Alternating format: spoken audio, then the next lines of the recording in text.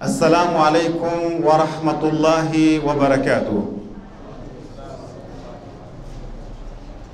يقول المولى سبحانه وتعالى في كتابه المجيد بعد أعوذ بالله من الشيطان الرجيم بسم الله الرحمن الرحيم وتضحكون ولا تبكون ويقول أيضا فليضحكوا قليلا وليبكوا كثيرا جزاء بما كانوا يكسبون. صدق الله العلي العظيم. أوالي يوتي تمشكر الله سبحانه وتعالى وكتوزيشا kufika katika mwezi mtukufu lakini pili tutoe mkono wa pole kwa Waislamu wote na wapenda haki na wapinga dhulma wote kwa munasaba wa kufikiwa na mwezi wa majonzi, mwezi wa huzuni, mwezi wa Muharram ambao yalitendeka ndani yake makubwa ambayo hayasimuliki, hayaelezeki, hayavumiliki.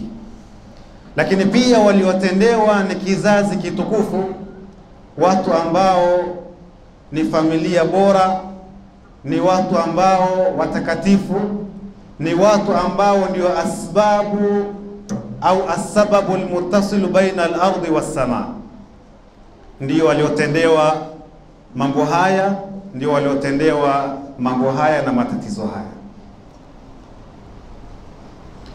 Kwa muda tutakaokuwa nao tutajaribu kuongea kuhusiana na mada ambayo napenda niite kwa jina la limadha nabki lilhusein,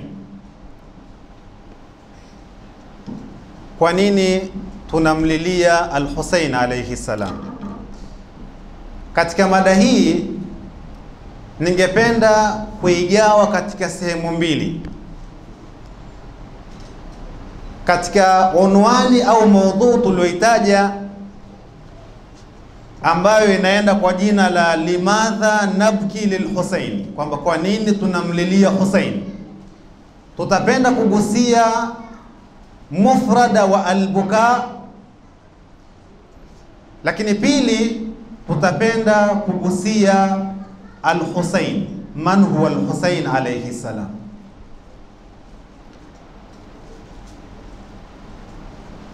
Katika mufradatul buka tutajaribu kuangalia kwamba albuka taarifu yake, maelezo yake, lakini pia tutaangalia albuka faida zake, na tutaangalia albuka sababu zake ni zipi. Na katika sehemu ya pili tutaangalia al-Imamu alaihi ssalam, shakhsuhu wa shakhsiyatuhu. Katika kumtambulisha al-Husain alayhi salam, tutamwangalia katika nyanja mbili hizo, kwamba ni nani al-Husain alayhi salam? Kwa maana ya nasaba yake, lakini tutaangalia ni nani al-Imamu al-Husain alayhi salam? Kwa maana ya wadhifa, kwa maana ya hadhi kwa maana ya utukufu na daraja alilokuwa nalo. Katika kuelezea albuka, tutaiangalia pia ndani ya Qur'ani tukufu albuka inashughulika vipi au imepewa nafasi gani katika Qur'ani tukufu. toban kama muda utaturuhusu, kwa haraka haraka tukianza na taarifu ya albuka. Taban, sote tunafahamu kulia maana yake ni nini, lakini ni vizuri tukaiweka katika swigha na mpangilio mzuri wa kitaalamu.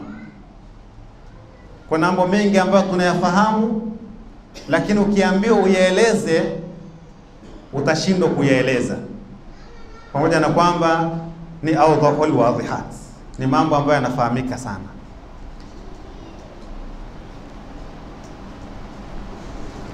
Albukaa ni nini? Wanaeleza maulamaa kwamba albukau ambayo ndio inayopelekea adhumu na dhumu ambaye ni nini? Ni majmuatun min assawail laha ta'amun malih min min al-uruq al-muttasilati bil ayn bi asbabin muayyana. Kulia ambako kunapelekea machozi ni ile hali ya kutoa vimiminika ambavyo vina chumvi chumvi. Machozi kawaida ukiyatia katika ulimi, taamuhu yana nini? Yana chumvi chumvi. Lakini machozi haya au sawaili hizi au vimiminika hivi vinatoka katika mishipa ambayo imeungana moja kwa moja na jicho lakini zinatoka au yanatoka kwa asbabin muayyana, kwa sababu fulani na sababu maalum. Tutakuja kuona katika kuelezea sababu zinazopelekea mtu kulia. Kwa hiyo hii ni maana ya kulia kama wanavyoieleza maulama. Tukienda haraka haraka, tuangalie sababu za mtu kulia.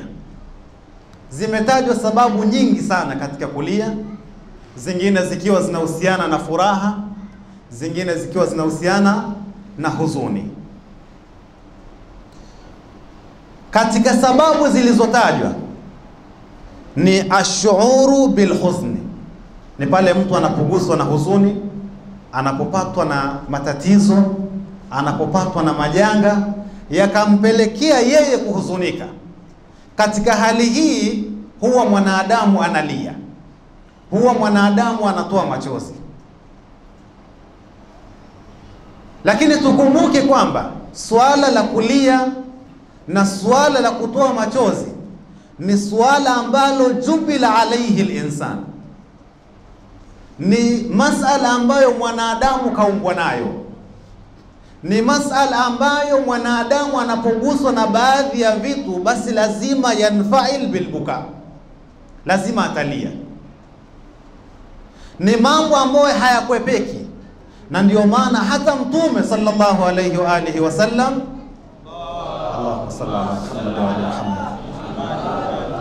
alipofiwa na mmoja wa watoto wake alilia, na akaambiwa hata wewe pia unalia?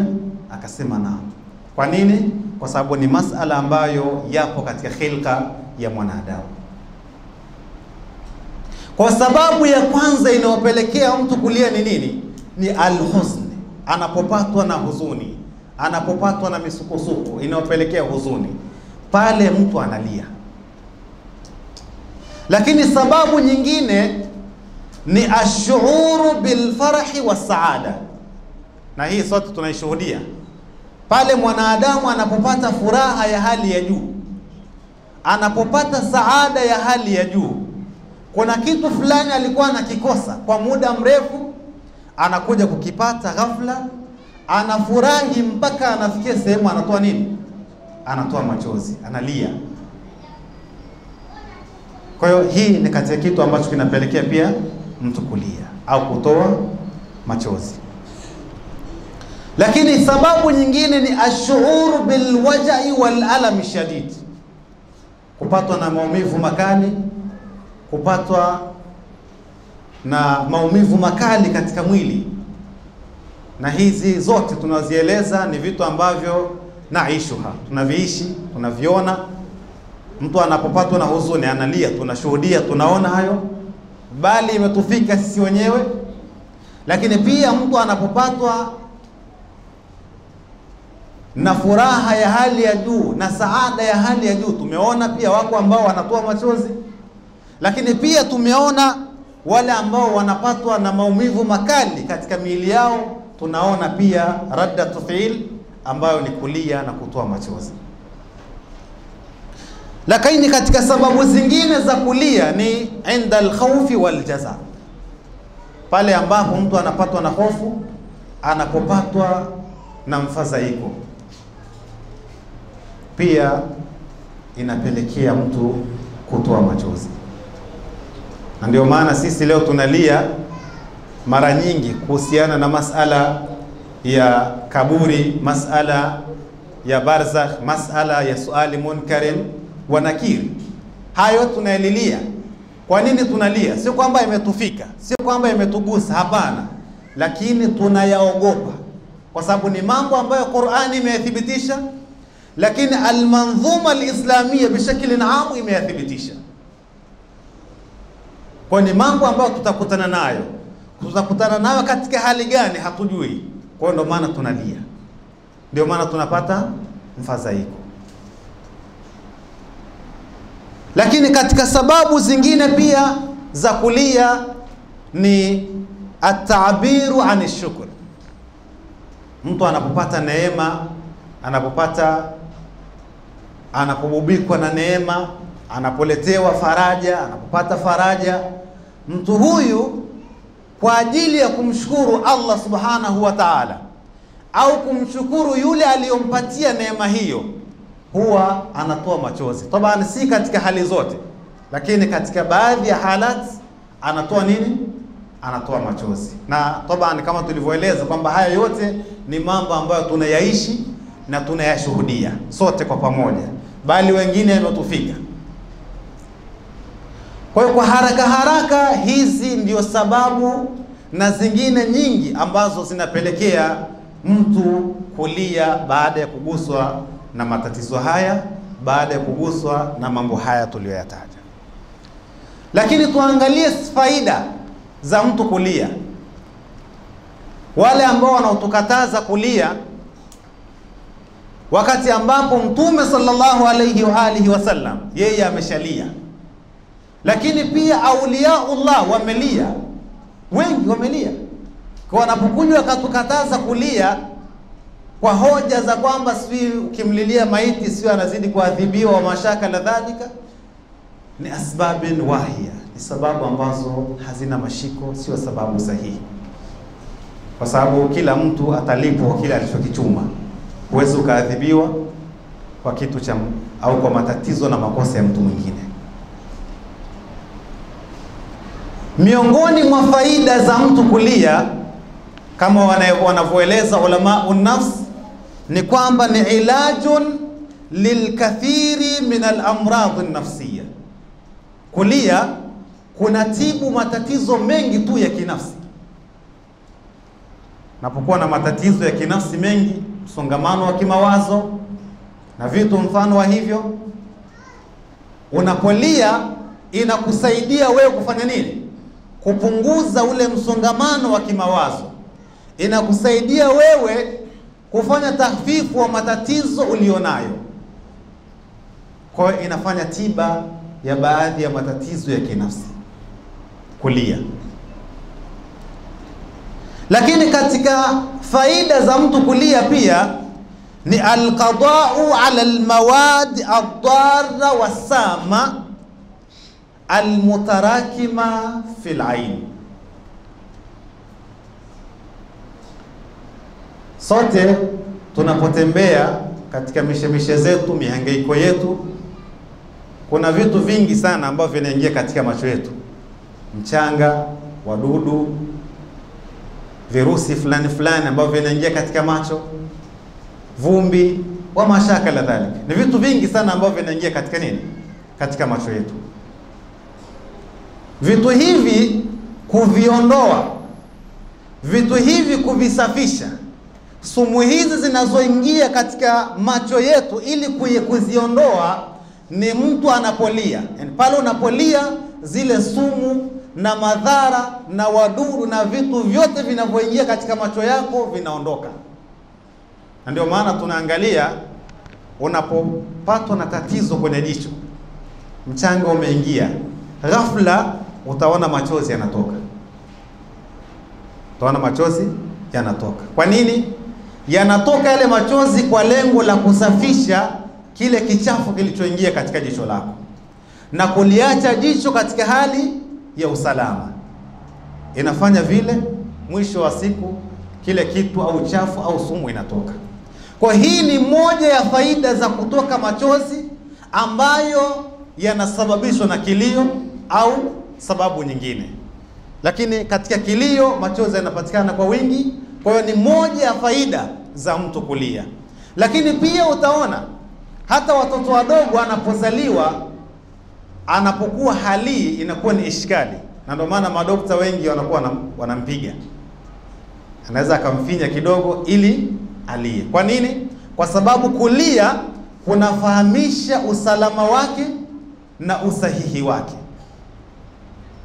kunafahamisha hivyo.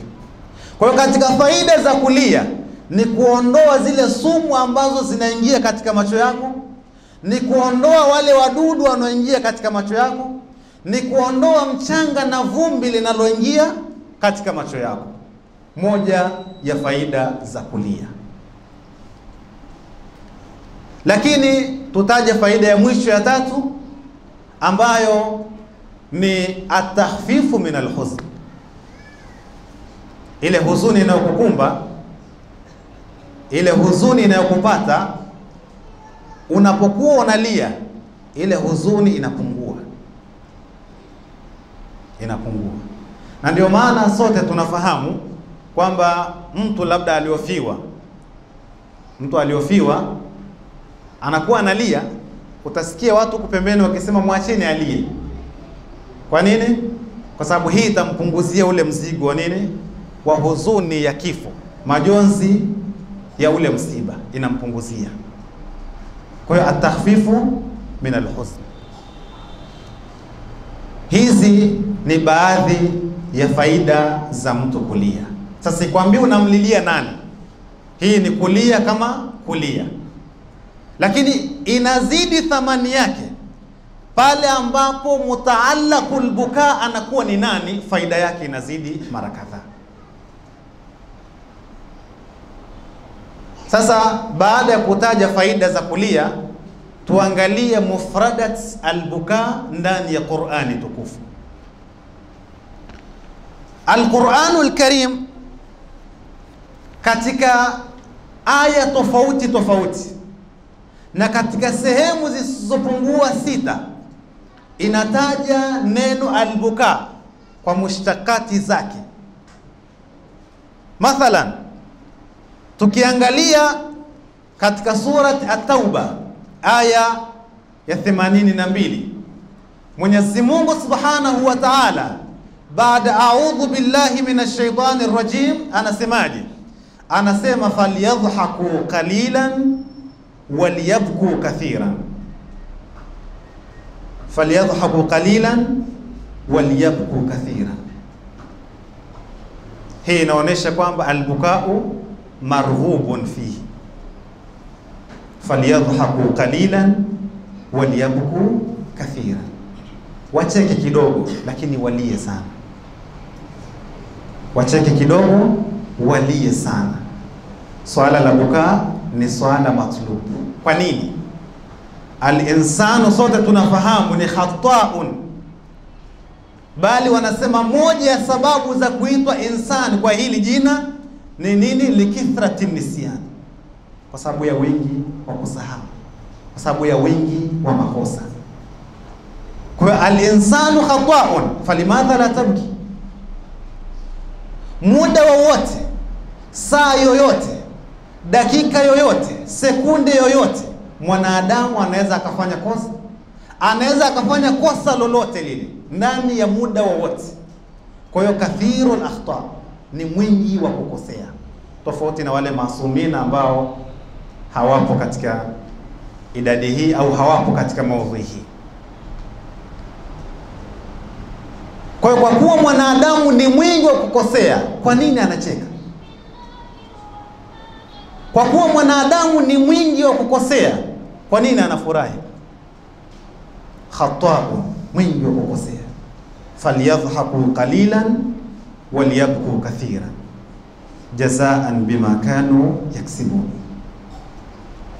Mufradatul buka imetajwa na imetajwa katika unwani wa kuipendezesha kwamba ni kitu ambacho kinapendelewa, ni kitu ambacho kinatakiwa, ni kitu kizuri kwa mwanadamu lakini pia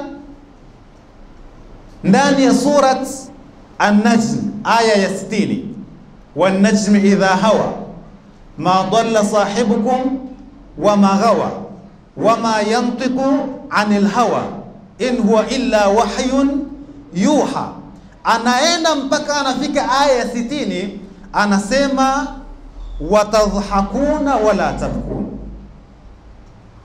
nyewe wanadamu mnacheka lakini hamlii, hamlilii nafsi zenu, hamlilii matatizo ambayo yanaweza yakawakumbeni huko mbeleni, hamlii. Watadhakuna wala tabkun, lakini bado utaona kwamba ni uslubu ambao unatumika ni kama vile kufanya taubihi fulani, kukemea swala la kuchekacheka, kucheka kwa muda mrefu. Na ndio maana Bwana Mtume sallallahu alaihi wa sallam kicheko chake ilikuwa ni nini? Tabassuma, kwa kitabasamu. Lakini pia al-Imamu al-Khumaini qaddasallahu asrarahu zakia, inavyopokelewa kwamba hakuwa anachekacheka, alikuwa ni mtu ambaye anatabasamu tu, akifurahishwa na jambo anatabasamu.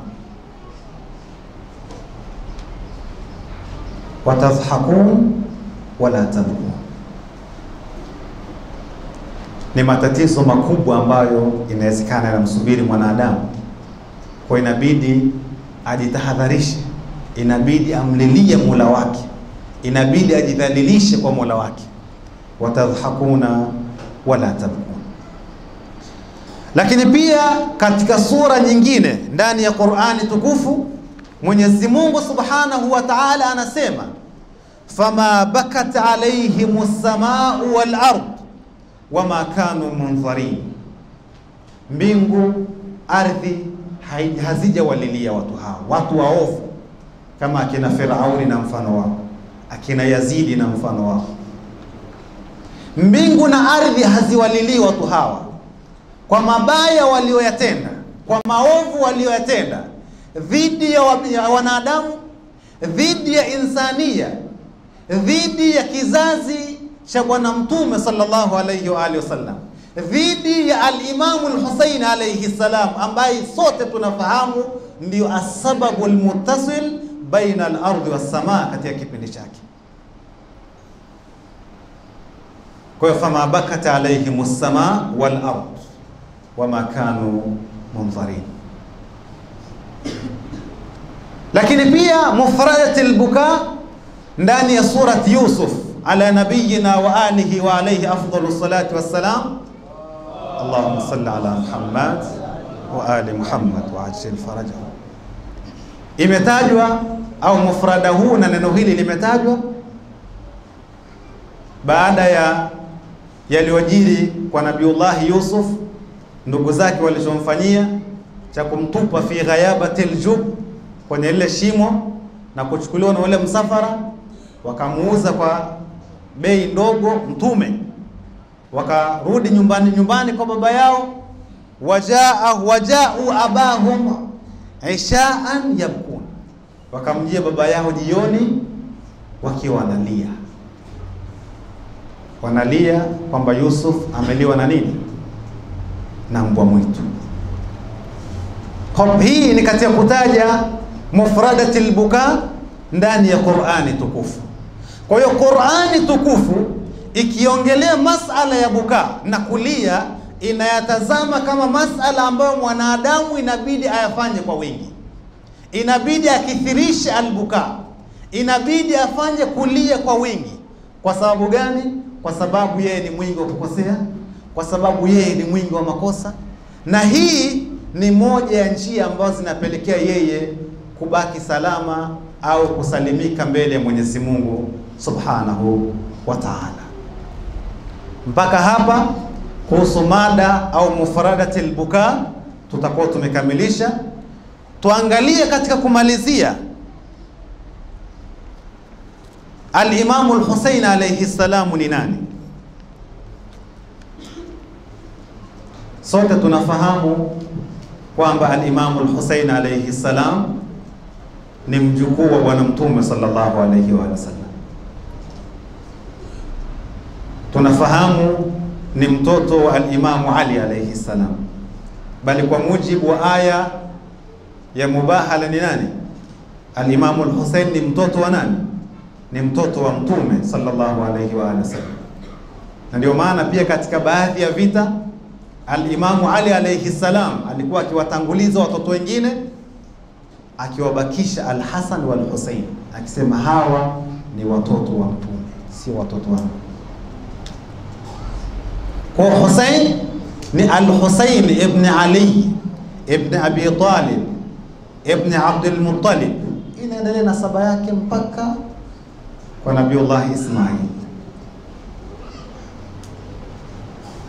Huyu ni Hussein kwa upande wa shakhsuhu, al-Hussein kwa upande wa nasaba yake, kwa upande wa silsila yake ya wazazi babu zake walivyokuwa. Na hii sio muhimu sana, kwa sababu wengi tunafahamu, wengi tunafahamu al-Hussein alayhi salam ni nani? Ni mjukuu wa Mtume, ana ibn nabiyil Mustafa, ana ibn aliyil murtada, ana ibn Fatimati Zahra, ana ibn Khadijata kubra ana ibn zamzam wa mina ana ibn man qatala bisayfain ana ibn man ta'ana birumhain, si ndio? Huyu al-Imam al-Husayn alayhi salam, sote tunamfahamu. Ahlan wa sahlan fikum maulana, tunafahamu. Lakini kwa upande wa shakhsiyatuhu al-Husayn Minan tunasoma katika ziara kwamba assalamu alaika ya warith adama safwatillah, ni mrithi wa mitume. Assalamu alaika ya warith adama safwatillah. Kazi ya alimamu al-Husayn ni kazi ya mitume. Kazi ya alimamu al-Husayn ni kazi ya Adam, ni kazi ya Nuh, ni kazi ya Ibrahim, ni kazi ya Musa na ni kazi ya Isa na kazi ya nani? ya Bwana Mtume sallallahu alayhi wa alihi wasallam.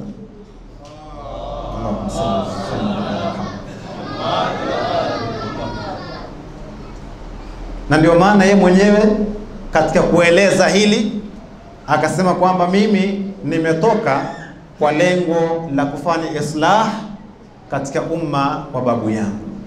Yaani kwa maana gani? Kuendeleza ile ile silsila ya kazi ya mitume. Mitume walikuwa ni muslihun kuendeleza kazi ile ile ya mitume. Idhan huwa warithul anbiya. Assalamu alayka ya waritha adama safwatillah. Assalamu alayka ya waritha nuhi nabiyillah. Assalamu alayka ya waritha ibrahima khalilillah. Assalamu alayka ya waritha Musa kalimillah. Assalamu alayka ya waritha Isa ruhillah. Assalamu alayka ya waritha Muhammadin habibillah, kwa ni mrithi wa mitume. Lakini pia Al-Husainu alayhi salam ni mtu ambaye katika zama zake alikuwa, alikuwa ndio sababu ya kubaki mbingu na ardhi na vilivyomo ndani yake. Alikuwa ndio mtu pekee ambaye ardhi inabaki kwa sababu yake mbingu inabaki kwa sababu yake na vilivyomo ndani yake vinabaki kwa sababu yake. Tunasoma katika hadithu al-kisa kwamba inni ma khalaqtu samaan mabniya wala ardan madhiya wala qamaran munira wala shamsan mudhi'a wala falakan yadur wala fulkan yajri wala bahran yajri illa fi mahabbati haulai khamsa. Mmoja ni nani? Ni al-Imamu al-Husayn alayhi salam.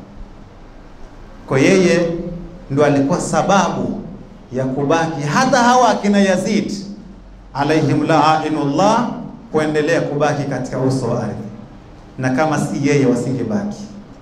Na ndio maana hum ni sababu ya kuungana mbingu na ardhi.